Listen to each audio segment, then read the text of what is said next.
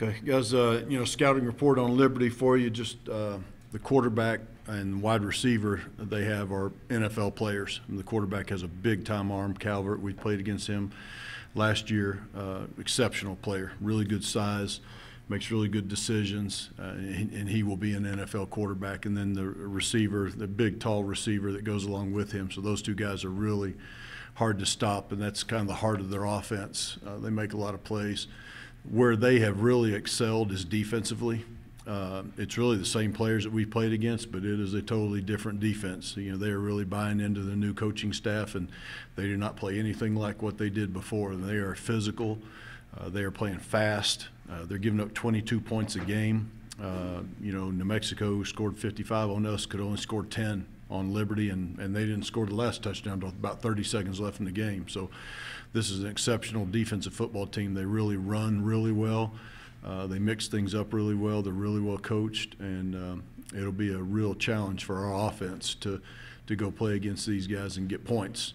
Um, I told our team, you know, this is for the 2019 team. This is really a defining week for us and a defining game, you know, in terms of, you know, how we're going to approach the rest of this season. Obviously, we've played a tough schedule, and we all know that. It's been the toughest schedule in a group of five, without a doubt. Um, but there's certainly opportunities ahead for us, and that's going to, what's in your heart's going to get exposed from here on out through the rest of this season. And so that's a challenge for our guys to find out what you really have inside of you and can you rebound and go out and prepare really well this week. And we prepared really well last week. Um, and I firmly believe if we turn the ball over once or less, we can score on anybody and beat anybody. So that's the issue with us. Are we going to do that, and are we going to prepare the right way? And if we do that, and uh, what's in our heart will get exposed, and I think it'll be something that we really are proud of. And because I know these kids got the right thing inside of them, we just got to go do it on a Saturday. Questions? Coach, what impressed you the most about your defense last week? Well, just the rebound, you know, from a you know tough game at uh, UNM, and then to come back and play as physical as we did. Adam, I thought we played really well against the run. We didn't give up the deep ball, which was what had hurt us at UNM. Um, I just thought our guys played with a lot more urgency, uh, played more physical than what we had, and, and played like we need them to play you know, to give us a chance to win. They kept us in that game uh, against a really good Fresno team. Fresno's you know, probably end up being a 10-win team again. Uh, but uh, we were right there with them, and had we not turned the ball over, that game would go down to the wire. Do you, do you think that teams are gonna continue to, um, take away shallow stuff, not let you guys throw down, throw the ball down the field like a Fresno State did, and you said Liberty's different defensively, like, it seems like until you start hitting that deep, that, those balls down the field or running the football, I don't know if they're gonna give up those short passes. Well, we're running the ball really well right now. I mean, they- that, that really has not been a problem. The only problem we've had offensively, Jason, is the turnovers. I mean, you look, the one game that we only turned the ball over once, we scored 52 points. And we're moving the ball in every other game, but we're not able to finish drives and get it in the end zone because of the turnovers. So, uh, you know, people are going to people play you different from week to week, depending on how it goes. You know, Fresno started trying to drop everybody into coverage, and then when we started running the ball, they instantly went back to their base defense for the rest of the game. So we didn't see that much later uh, until the last drive or two, where they had the lead and just weren't going to give us any passing game. So.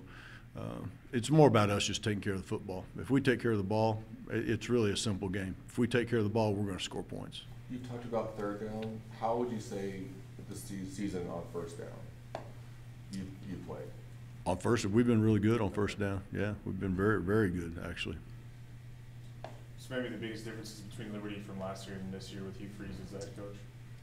What is the biggest difference? Yeah, I think it's the defense. I think it's the way they're playing defensive football. You look at, they held Syracuse to 24 points. It was 24 to nothing game. Uh, Buffalo couldn't score on them. New Mexico couldn't score on them. Uh, you know, they, they've just been really an exceptional defensive football team. And again, it's a lot of the same guys, most of the same guys that we've played against before, but you can tell the mentality is different. Uh, the scheme is not all that much different, but it's the mentality that they're playing with. They're playing with a lot of confidence. They're coming in here on a three-game winning streak, and uh, you know I think the defense is definitely the, the difference for them. What's your plan to crack that defense? We just just take care of the football. Like I said, you know, uh, when we do that, we are pretty much unstoppable. And uh, we, we have moved the ball on everybody we've played this year, uh, even Washington State and some on Alabama. But uh, the turnovers just keep negating all the good things that we do. So if we only turn the ball over once in a game, we're going to score a lot of points and we're going to have a chance to win any game that we do that in. The, the Liberty UNM game, UNM must have played better on defense uh, last week too, because Liberty only got 17 points. How were they able to do that? Yeah, I think, uh, you know, UNM's got a pretty good defensive football team. They got speed. We were able just to formate them into some looks. We know them really well, and we were able to do some things, Jack, I think that other teams haven't done against them. Um, Liberty tried some of that, but just wasn't as successful doing it. Um, so, you know, Liberty is, is dangerous because of the quarterback. You know, he really can make every throw that you need to make, and he's mobile. He can run around a little bit too. So, um, you know, he, he's a problem. And the, the big wide receiver is, is certainly a problem. I mean, like I say, both those guys are NFL players. You talked about turnovers on offense. Your, can you talk about the, your defenses forced one turnover in each of the last three games, so they're starting to at least give you guys the ball? Yeah, we need to get turnovers going. You know, I went back and looked, and uh, most every year, with the exception of last year, you know, our defense has caused 20 plus turnovers in a season. So we're well behind that mark right now. Um, you know, and, we- and we need to obviously eliminate our turnovers, but we need our defense to help us. You know, they got us a turnover to start the second half there Saturday, and it was instant touchdown. And that's how you become a good scoring offense too. When you get some short fields, you know, when you have to go 80 yards to score every time, it's it's much more difficult to get points on the board than it is when you get some of those short fields. Do you change anything that you do defensively for this receiver? I mean, he had a good game in the game here last year against you guys. Yeah, I mean, you, yeah, you certain you have to know where he is, and there's got to be times, you know, according to what your defense is and down and distance and maybe field position where you're going to double him and take him away and make them throw it somewhere else. There's, there's certainly those type of things. You want to try not to get him matched up on a bad matchup, uh, you know, in man coverage and things like that. So yeah, he's he's certainly somebody you have to you have to have a plan for. Understanding that there's probably some differences in this, in the schemes a little bit, does it just help having played this team twice, um, a year ago in terms of familiarity? Well, personnel wise, you know, we know their personnel pretty well, but scheme wise, they're really uh, a lot of differences now, so it's not as much help in that vein. Yeah. Coach, I know we asked you this last time, last year, whenever you played Liberty for the first time. Do you handle the first game against them any different, knowing you're going to play them again? No, the first game, you just it's just like playing anybody else. You try to go whatever you got to do to win the football game. The second game, because you have played them, you've got more tendencies and things like that. You've got to be more attuned to, to what you're doing there as far as the strategy and that maybe the scheme that you're using. But this game is just uh, just go try to win it. Any questions for Coach Martin? Um, are there any injuries, coach? In, injury, injury wise? Uh, I think we're getting Jalen Guerrero back, so that'll help. You know, we we've been down four offensive tackles uh, for really for the whole season. Uh, Jalen went out the New Mexico game, so we get him back. That will help us some. Robert Downs is back, wide receiver. He didn't play last game uh, with a rolled ankle, uh, so we do have those two guys back. And we didn't have we didn't have any injuries coming out of the Fresno game. I wanted to ask you if you had any thoughts on the legislation in California, folks being able to use their likeness for endorsements and this that. Man, how, how long do you have? Are they going? Are they going to pay sports writers?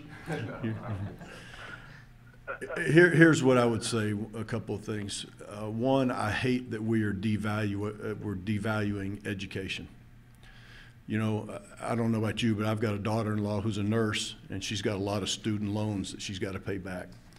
So I think it's very arrogant of people to say that somebody that's on scholarship is not getting rewarded.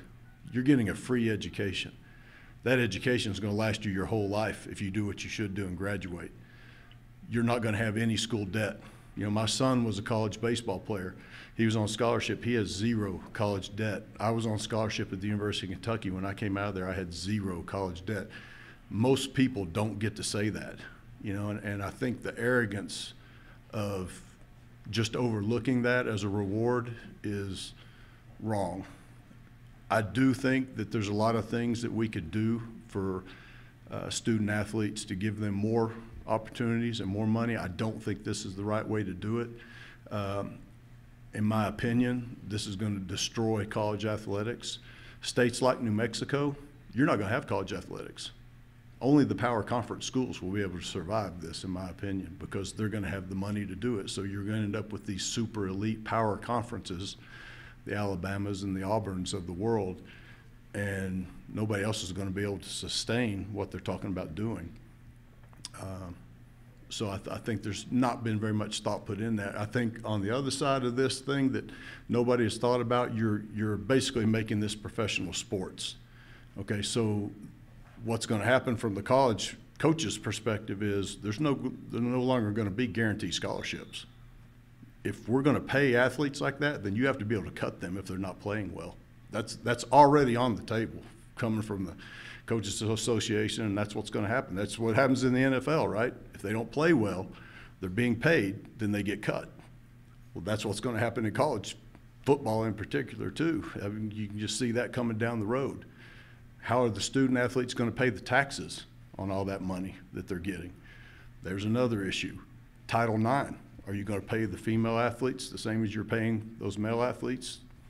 So there, there's a lot of discrepancies there. I think it's opened up a Pandora's box that they're gonna be sorry that they went that way. And again, I do think that college athletes should get more than what they're getting, okay? But I think there's a much better way to do it, uh, than what this does.